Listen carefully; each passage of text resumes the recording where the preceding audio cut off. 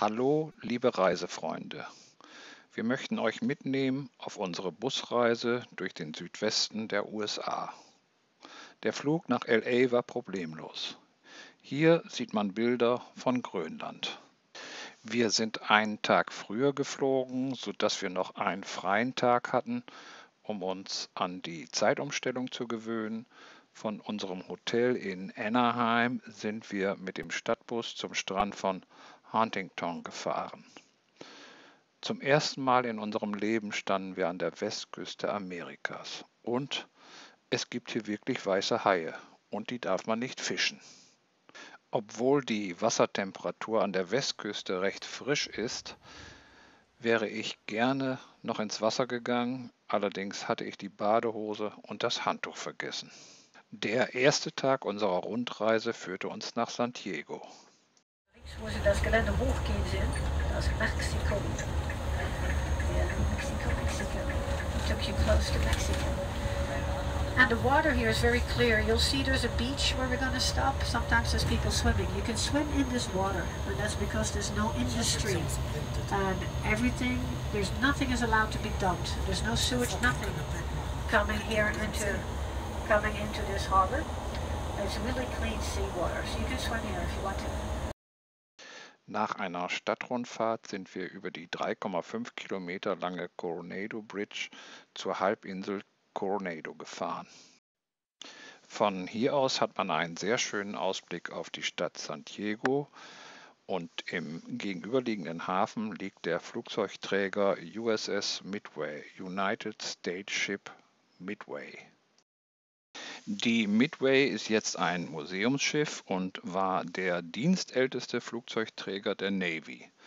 Man kann fast das ganze Schiff besichtigen, Zusätzlich werden noch 29 verschiedene Flugzeuge ausgestellt. Die Midway nahm am Vietnamkrieg und am Zweiten Golfkrieg teil. Wo der historische Kern von Santiago 1860 als erste Siedlung im spanischen Adobe-Stil entstand, existiert heute unter dem Namen Old Town ein Staatspark mit mehreren aus der Pionierära stammenden Gebäuden. Hier wird Geschichte lebendig, malt ein Bild vom Leben im frühen 19. Jahrhundert, als Kalifornien noch zu Mexiko gehörte. Im ältesten Tabakladen werden noch Zigarren verkauft, in anderen Läden Kupferwaren, handgefertigte mexikanische Fliesen und vieles mehr. Heute beginnt eigentlich der erste Tag unserer Rundreise. Am Morgen durchfahren wir die Stadt Los Angeles Richtung Osten, in die kalifornische Wüste. Die Wüstenstädte Palm Springs und Palm Desert sind beliebte Winterurlaubsgebiete, die durch Stars wie Elvis Presley und Frank Sinatra berühmt wurden. Am Nachmittag überqueren wir den Colorado River, welcher die Hauptbewässerungsanlage dieser Region ist. Danach geht es weiter nach Arizona. Schon bald erscheinen die ersten Saguaro-Kakteen, die Ikonen der südwestlichen Sonora-Wüste. Aus Filmen wussten wir, dass Amerika groß und weit ist. Aber die Wirklichkeit übertrifft alle Vorstellungen. Unendlich erschien uns die Weite dieser Region. Am späten Nachmittag erblickten wir dann Phoenix, Arizonas Hauptstadt, die wie eine Fata Morgana auftaucht. In der Nachbarstadt Scottsdale haben wir übernachtet.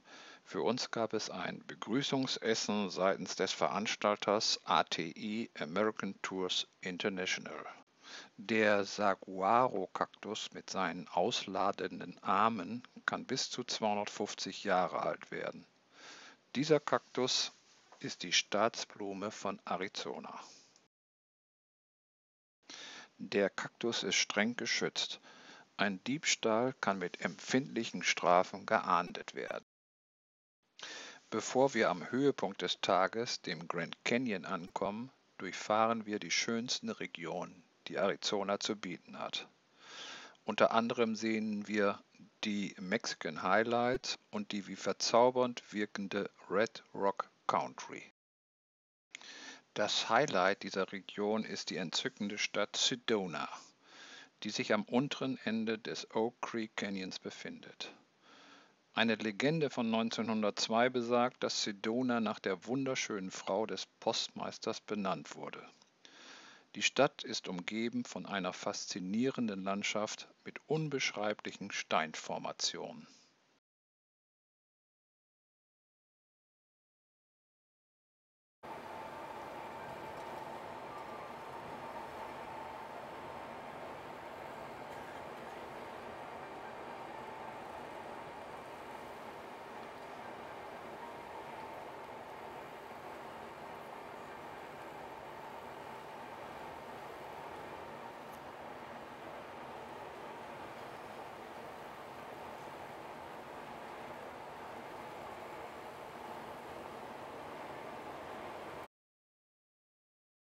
Sedona selbst ist ein reiner Touristenort. Spektakulär ist die Umgebung aus leuchtend roten Bergen, Felsspitzen und steilen Canyonwänden. Man ist überwältigt von den unwirklichen Farbspielen, die die majestätischen Felsburgen und bizarren Formationen in ein magisches Licht tauchen. Wir verlassen Sedona und reisen durch den Oak Creek Canyon zum Colorado Plateau. Über Flagstaff fahren wir nach Williams. Williams kennt jeder Motorradfahrer, der jemals die Route 66 befahren hat. Am Bahnhof kann man noch alte Dampfloks bewundern.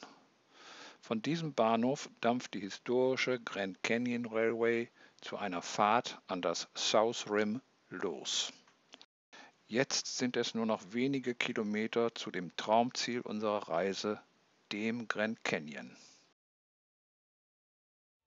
Wir hatten einen Hubschrauberrundflug über den Grand Canyon gebucht. Nach dem Wiegen jeder Person und einer Sicherheitseinweisung bestiegen wir den Hubschrauber. Aufgrund meines Gewichtes blieb ein Platz frei. Zuerst überflogen wir das Hochplateau. In dem Moment des Überfliegens der Abbruchkante vom South Rim, das heißt Südrand, legte der Pilot den Walküre-Ritt von Wagner auf unsere Kopfhörer. Es zog uns den Boden unter den Füßen weg.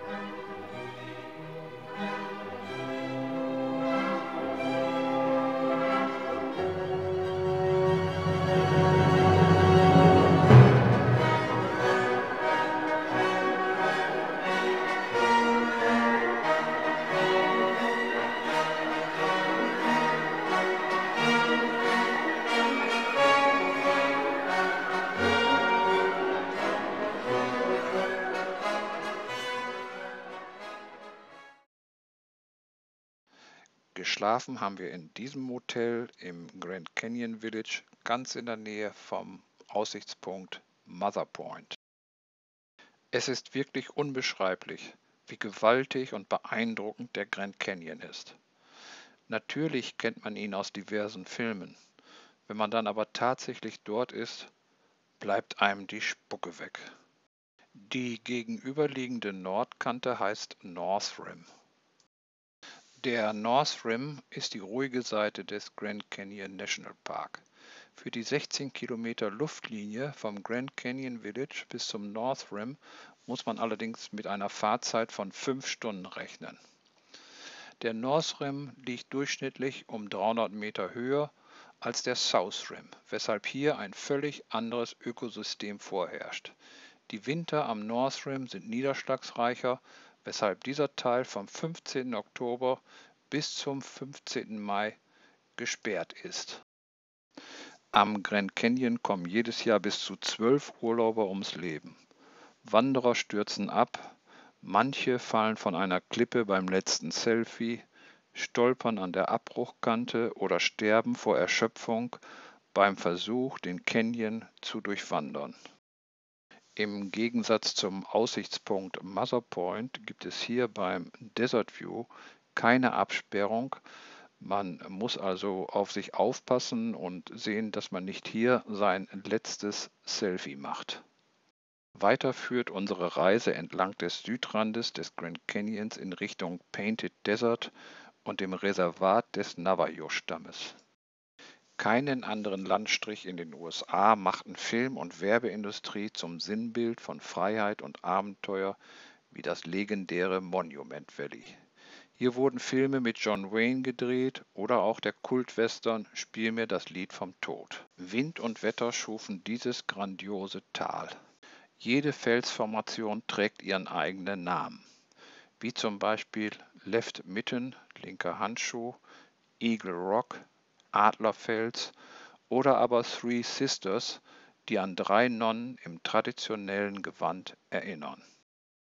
Die alte Hütte von John Wayne kann man besichtigen. Sie ist recht spartanisch eingerichtet und klein. Und äh, ich glaube nicht, dass ein Schauspieler aus heutiger Zeit diese Hütte während seiner Dreharbeiten bewohnen möchte. Die Navajo fahren uns mit ihren Jeeps entlang etlicher Felsformationen zum Fotostopp beim John Ford Point. Diese Tour ist für Menschen mit Problemen an der Bandscheibe allerdings nicht geeignet. Known as a left mitten, also known as a west mitten. There's another one looks like a right hand down below. You can't see it. That one's called the east mitten, or you can just call it the right mitten.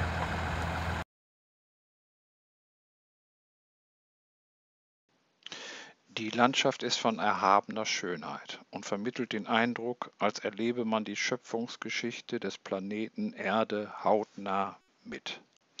Unermessliche Weite breitet sich zwischen den Sandsteinruinen einer Hochfläche aus, die während der vergangenen 25 Millionen Jahre von den Kräften der Natur aus den Sedimenten eines früheren Meeres ausgegraben wurde. Monument Valley ist nicht durch Auswaschung eines Flusses entstanden, sondern ein durch Wind und Regen geschaffenes Naturwunder.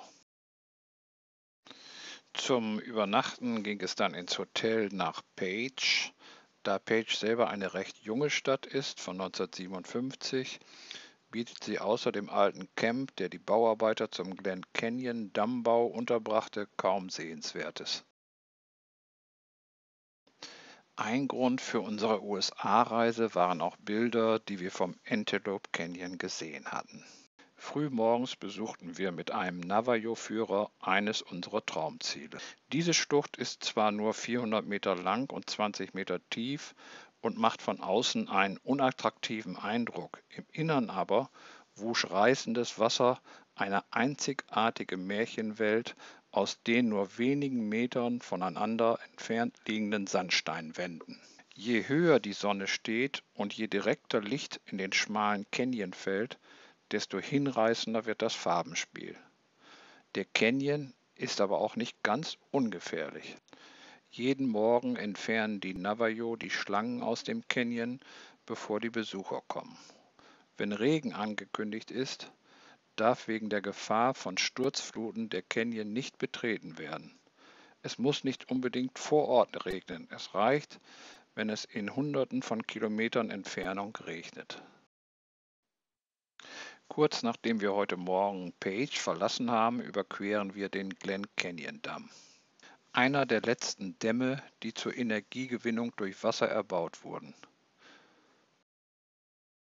Über die Rainbow Bridge geht es dann weiter zum Stausee Lake Powell. Mit der Fertigstellung des Glen Canyon Dams wurde der Glen Canyon ab März 1963 vom Colorado überflutet und bis zum Juni 1980 zum Lake Powell aufgestaut. Hier befindet sich das Hausboot-Mekka von Utah und Arizona. In den 1990er Jahren schien es noch so, dass der See durch die Wassersport treibenden Menschenmassen ökologisch aus dem Gleichgewicht geraten könnte. Mittlerweile haben die Verwaltungsbehörden andere Sorgen. Weil der Seepegel seit damals um mehrere Meter absank, nicht nur wegen zunehmender Trockenheit in der Region, sondern auch weil die Anrainerstaaten aus dem Colorado zu viel Wasser abzweigen. Wir erreichen Utah, ein Staat, dessen Entwicklung maßgeblich von den mormonischen Pionieren beeinflusst wurde. Diese Pioniere waren die ersten Siedler in dieser Region. Traditionen und Bräuche sind bis heute in vielen Bereichen des täglichen Lebens der Mormonen vorhanden. Der nächste größere Ort ist Kanab, ebenfalls ein beliebter Drehort für Westernfilme. Im Südwesten von Utah liegt der Bryce Canyon, eines der außergewöhnlichsten Naturwunder Amerikas. Im Zentrum des Parks, dem Amphitheater, breitet sich in einem fast runden Becken eine vom Wind und Wetter gezeichnete Zauberlandschaft aus, mit tausenden Felsnadeln, Steintürmen, die sogenannten Hudus und grotesk anmutenden Naturskulpturen, die einem versteinerten Theaterensemble auf einer gewaltigen Open-Air-Bühne ähneln. Eigentlich ist es kein Canyon, sondern eine verwitterte Kante des Colorado-Plateaus.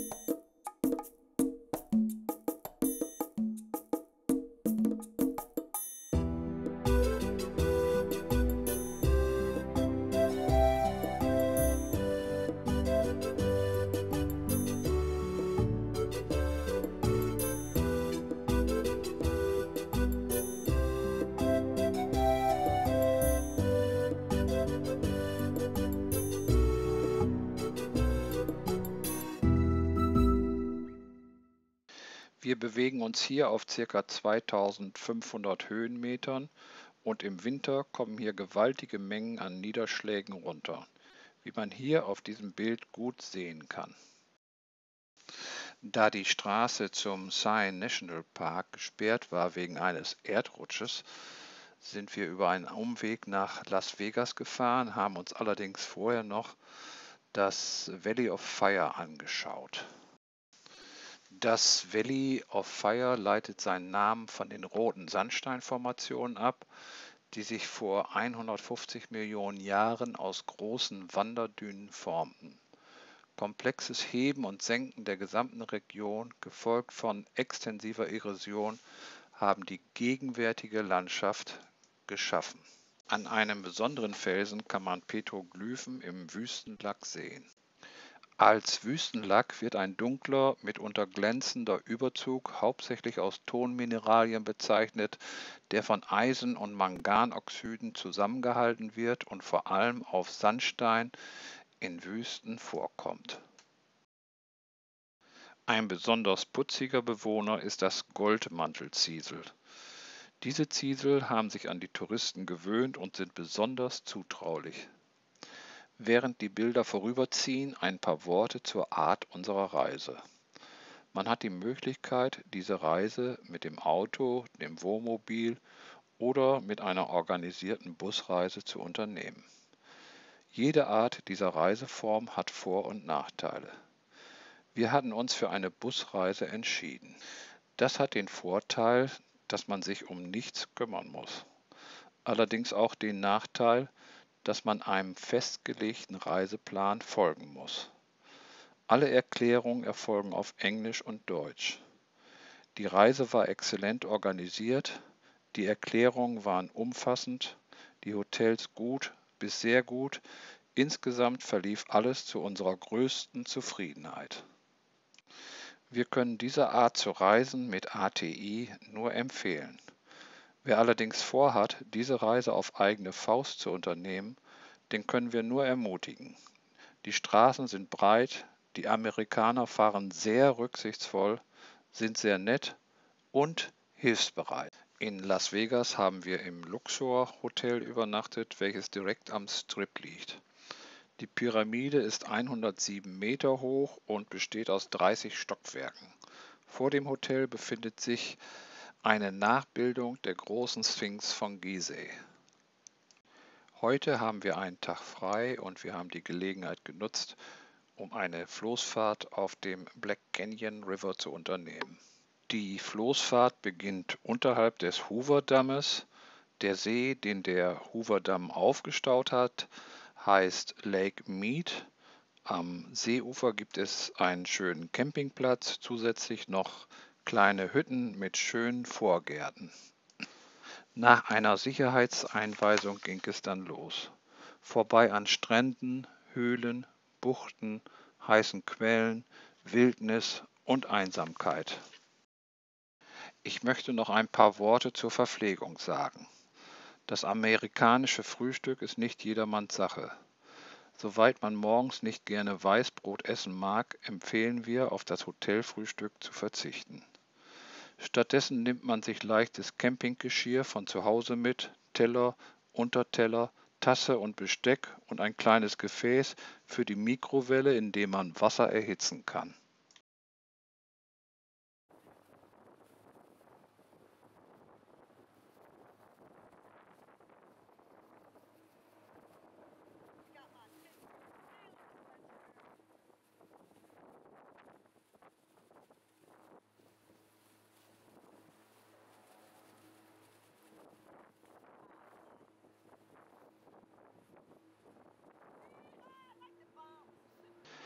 Außerdem eingeschweißtes Vollkornbrot von zu Hause.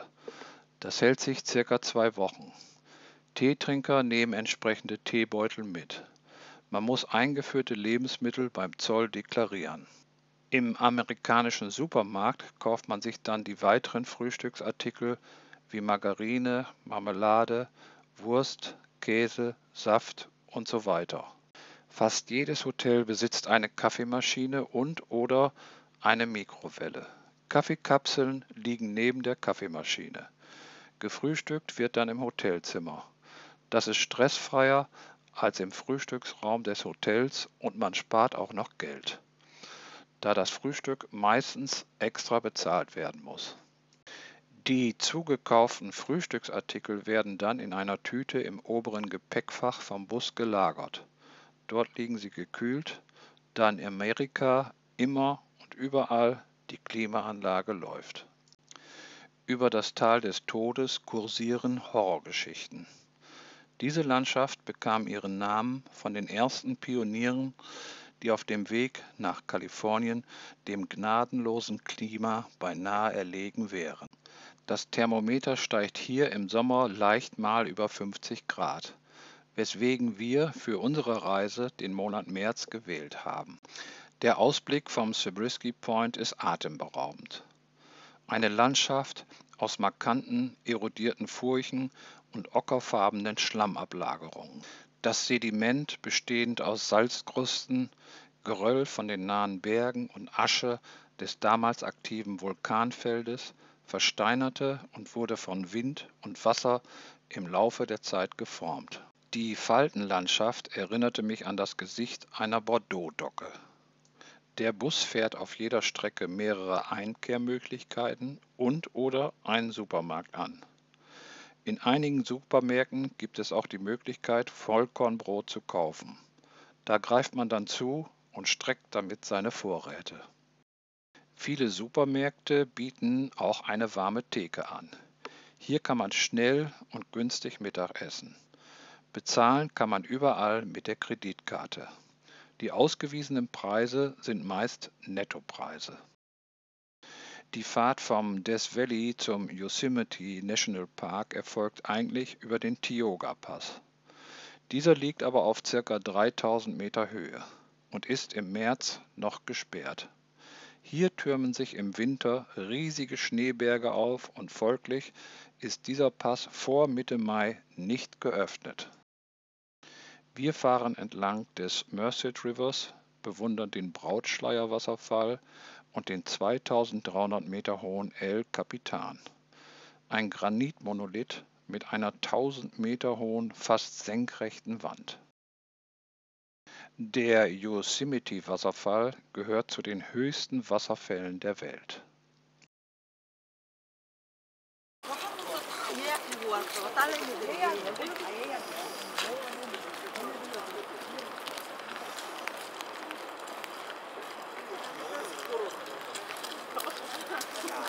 puxa, eu abro isso, mano.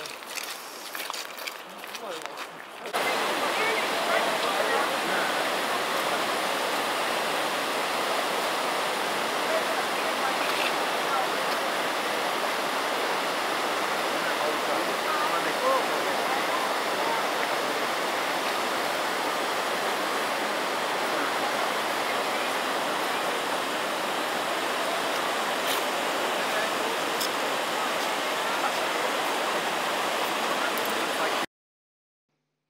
Im Gegensatz zu den anderen Wasserfällen im Yosemite Nationalpark trocknet der Brautschleierwasserfall im Sommer nicht aus.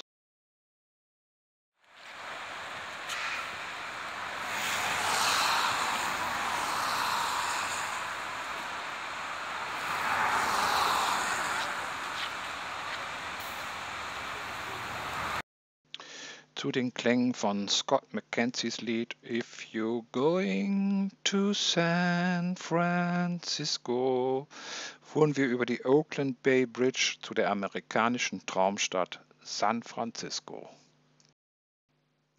Was verbindet man nicht alles mit dieser Stadt? Flower Power Bewegung, Hippies, Silicon Valley, Golden Gate Bridge, Chinatown, Lombard Street, Fisherman's Wharf, Alcatraz, Hafenrundfahrt, Cable Car, die Seelöwen vom Pier 39 und die Twin Peaks. Die Spanier tauften diese Anhöhen auf den Namen Los Pechos de la Chola, die Brüste einer Indianerin. Ja, ich sagte eben, dass die ausgewiesenen Preise meist Nettopreise sind. Man sollte daran denken, dass in den USA je nach Bundesstaat fast immer noch Steuern aufgeschlagen werden und fast immer ein Trinkgeld erwartet wird. Das Trinkgeld liegt um die 15 Prozent. Auch der Busfahrer und die Reiseleitung bekommen zum Abschluss der Fahrt ein Trinkgeld. Das liegt ungefähr bei 3 bis 5 Dollar pro Tag und Person. Das ist die Gefängnisinsel Alcatraz.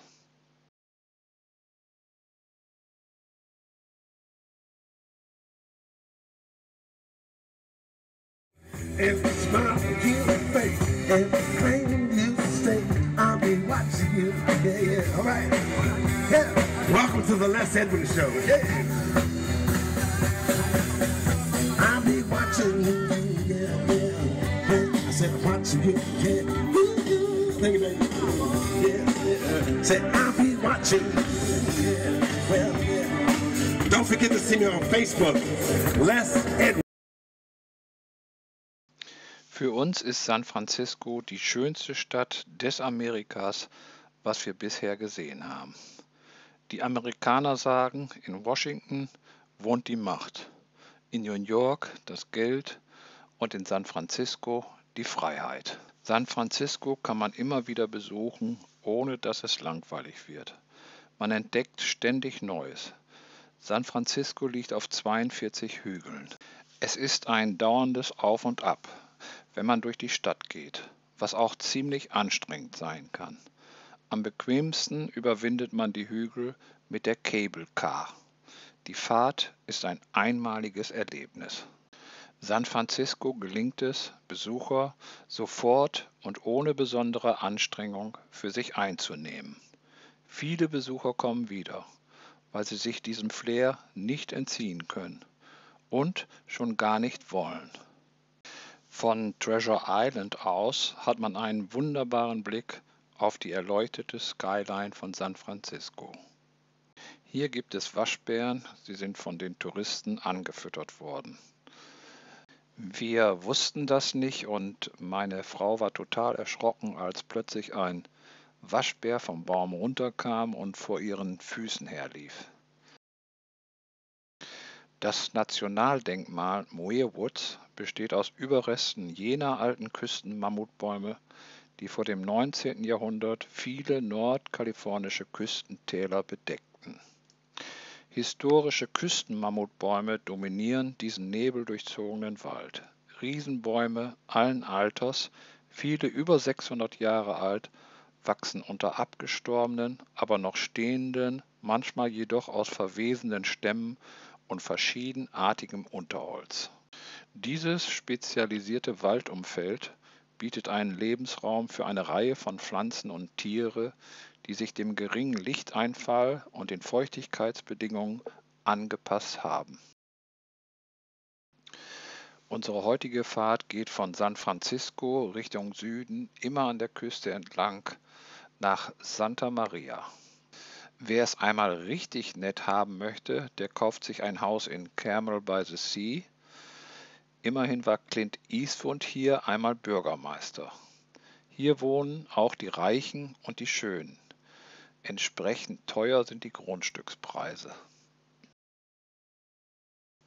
Viele bekannte Autoren und Künstler lebten für einige Zeit in der Region von Carmel by the Sea und machten die Natur zum Gegenstand ihrer Werke.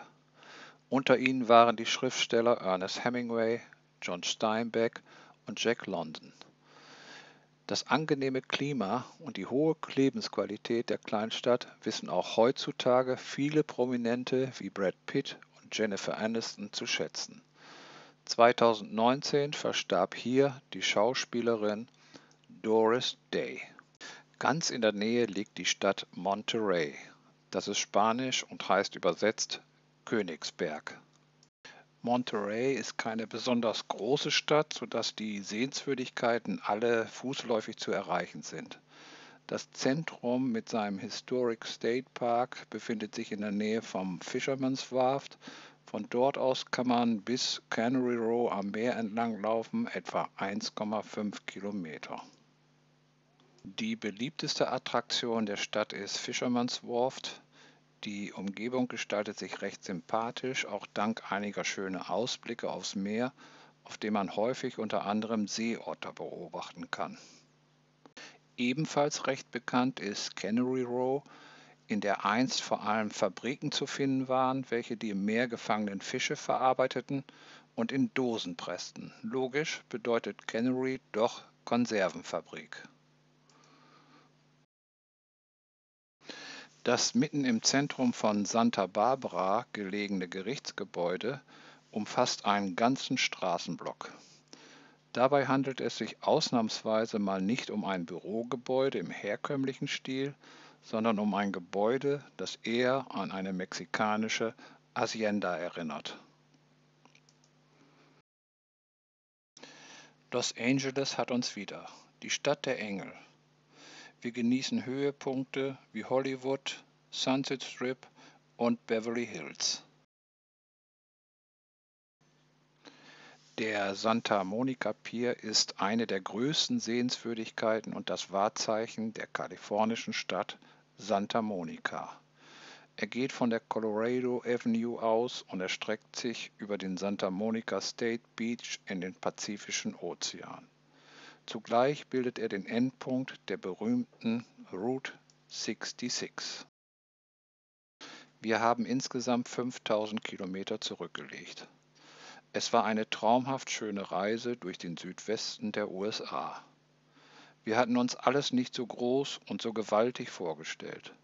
Man sitzt still im Bus und lässt die Landschaften an sich vorüberziehen. Man ist einfach nur am Staunen. Staunen über Gottes Schöpfung. Die Landschaften sind so gewaltig, wie oft haben wir im Hintergrund die Worte gehört, It's amazing. Und das war es auch.